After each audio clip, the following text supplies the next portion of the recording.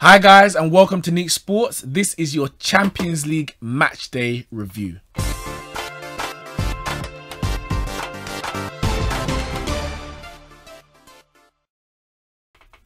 A massive night of Champions League football, the first night for the season. It's, it's good to be back.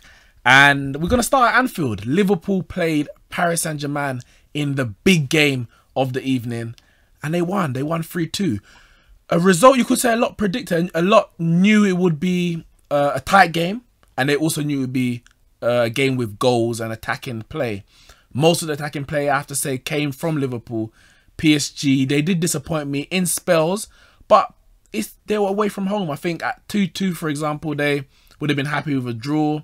Once they weathered the early storm um, in the, the first 20 minutes of the game, they would have been happy at how the game settled down and, and slowed down. But Liverpool hit them with two quick goals. The second, I would say, was all PSG's fault. Bernat, there's no way he should have gone in for a tackle um, as he did to, to give the penalty to Liverpool, which Milner slotted away for 2-0. But PSG got a goal back just before half time to make it 2-1. And then Kylian Mbappe, the boy wonder, scored what looked to be the equaliser. But Bobby Firmino off the bench with a injured eye after the weekend, his tangle tussle with uh, Vertonghen, and he came off the bench and slotted a stoppage time winner for Liverpool. So they're off to a flyer in the Champions League, three points on the board. And the other game in their group, uh, Red Star Belgrade and Napoli, that ended nil-nil. So Liverpool, they're top. They already got that gap. Really, it should be. You, sh you should think it'll be plain sailing from here. They've beaten what would be the strongest or the the other strongest team in the group um, at home. And you would think their next hardest game would be the away tie um, in Paris. The other English team in action, the early kickoff was Spurs against Inter Milan. Spurs on the back of two successive defeats, one before the international break, uh, a 2-1 loss from leading against Watford and then uh, a 2-1 loss at home to Liverpool after the international break. The the Watford game, you would say, came as a surprise on the back of a 3-0 victory against Manchester United. But the Liverpool game, the performance was just poor all around. Lethargic, um, no energy, no ideas, and just a very sloppy game in, in total. And I think that really played itself out today at the San, in the San Siro. The first half especially, Tottenham just weren't in it.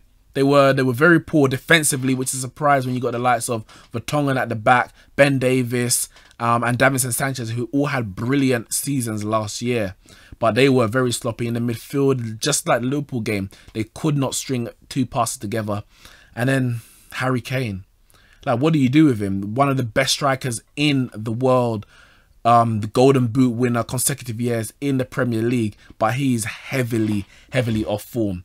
But do you drop him? Can you drop someone like Harry Kane? And if you do, can you rely on the likes of Son Moura, who has had a brilliant start to the season, and Lamela, Alli, and Eriksen to replicate the, the goals that he has given Spurs? Maybe he needs a rest. He was rushed back at the back end of last season um, to play in the, the FA Cup semi-final against Manchester United.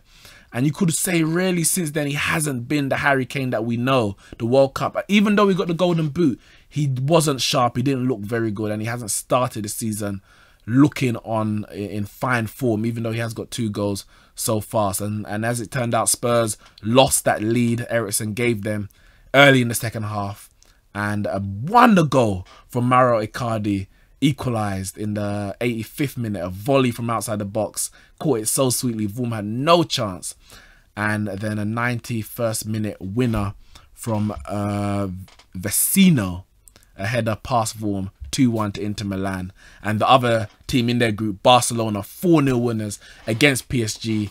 No prizes for guessing who was on the score sheet. Lionel Messi with his eighth Champions League hat-trick, leading Champions League hat-trick uh, scorer of all time. One ahead of Cristiano Ronaldo, who will be playing tomorrow for Juventus.